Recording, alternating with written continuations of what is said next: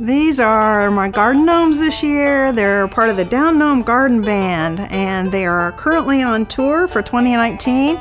So when they're not working away in your garden, they are on tour playing dueling banjos. Look for them in a garden near you.